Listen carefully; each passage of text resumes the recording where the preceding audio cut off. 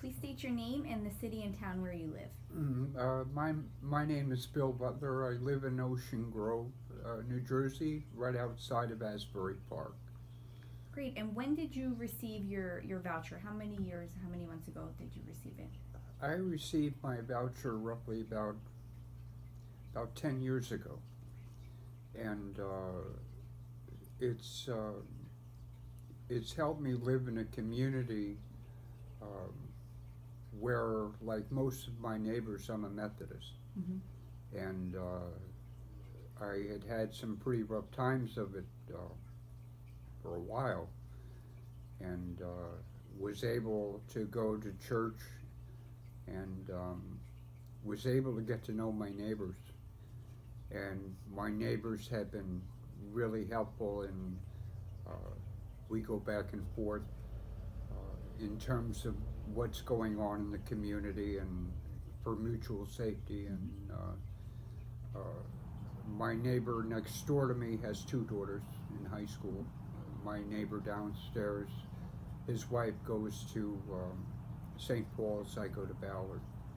So in, in order to be part of the community, having my own place, so to speak, uh, helped me have a lot of things that I didn't have in a boarding home.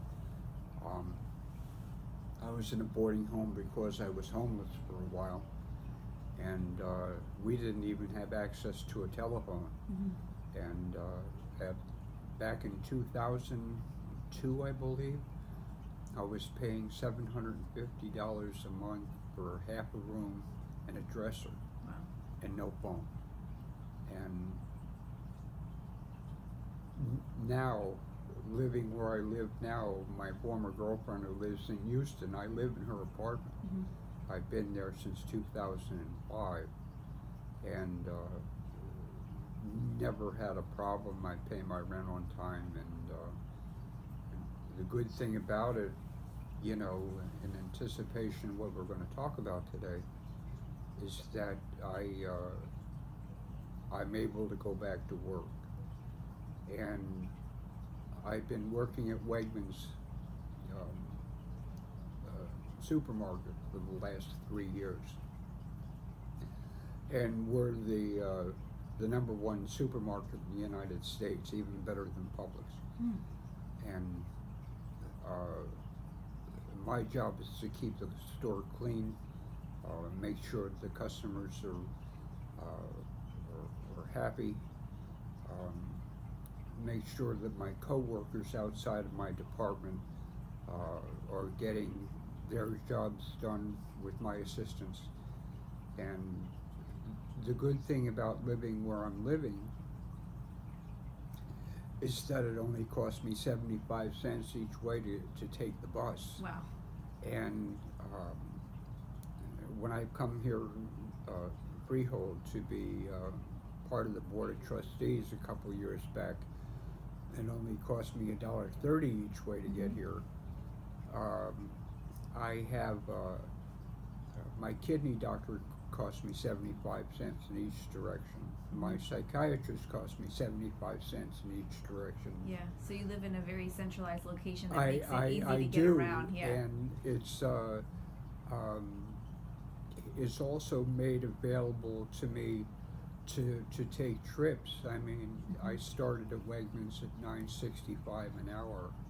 Now I make twelve twenty five an hour, That's great. and uh, so being able to be centrally located, I'm able to take the train to Newark. From Newark, I've I've gone to Pennsylvania Dutch Country 4 Mhm. times. Um, I've gone to see my relatives.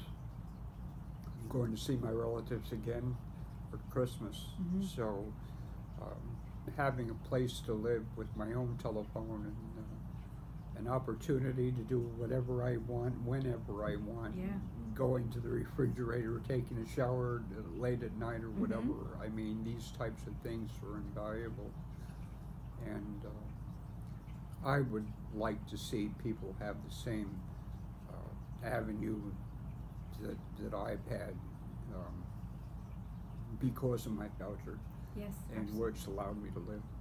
So when you think back to, to ten years ago, um, before you had the voucher, what, if you can, if you can, you know, remember, what are some of the barriers that you faced to kind of, um, ending, not necessarily your homelessness, but ending living in the boarding home and, and accessing, um, a voucher, improving your health? What, what were some of the barriers that you faced before you had your own home? Well, the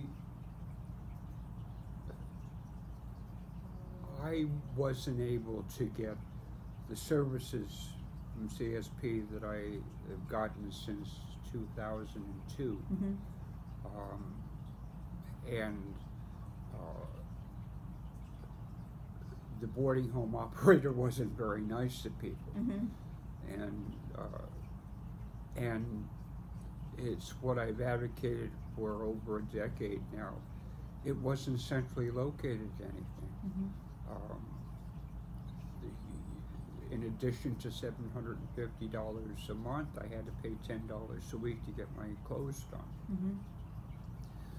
So having having basically no opportunity to uh, to be part of the community really uh, was stifling. Yeah. Um, I, I think the, the main thing is is that uh, it's having access and not not isolating, Yes. um, not being with with folks who have all kinds of different problems, and being able to, to live on my own. If I feel like calling somebody, I do, or if they need to reach me for whatever reason, Mhm. they do.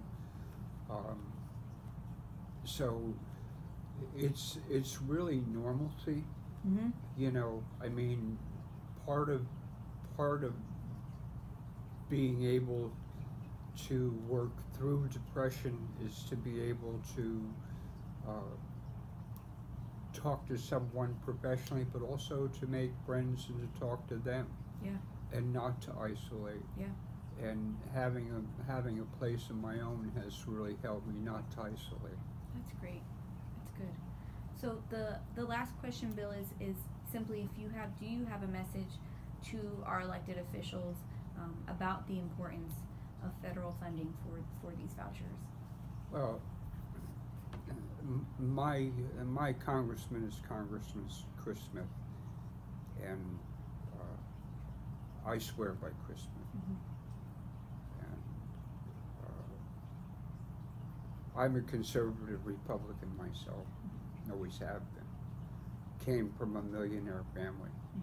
Uh, my uh, my illness uh, was so bad 15 years ago that uh, not only was I at death's door, but I was on the other side of it. Mm-hmm. Uh, my my note to elected officials is to say, think what it would be like if you had a family member that needed a place to live, who could afford it, um, who could have the same avenue that I have, uh, being able to take the bus places, being Mhm. able to to go to a movie theater because it's on the bus line, being able to go to work because it's on a bus line.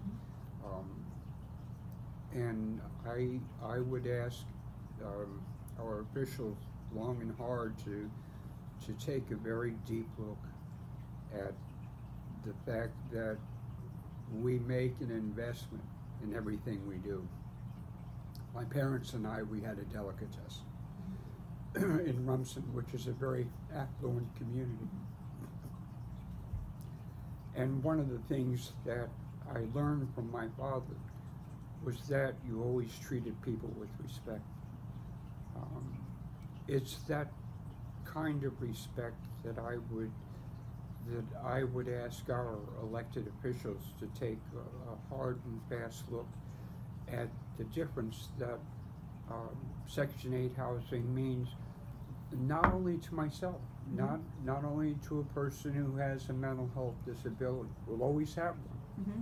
uh, but what it means to to people who don't have a disability, to people who are poor, who are the working poor, who need a place to live, who can't afford to live in New Jersey for a two-bedroom apartment with kids for thirteen hundred dollars a month. Um, and to, to say once and for all, we have to, we have to take care of the least fortunate among us. Um, I've been blessed, I've been lucky.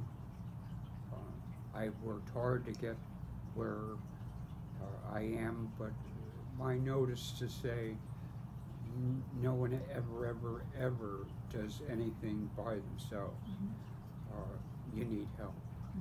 And uh, I, I think if we take a look and say that a family can afford a thirteen hundred dollar a month apartment for five hundred dollars a month because of rental subsidy and put food on the table, get the medicine they need, uh, because of that, that's something that uh, I think they should know.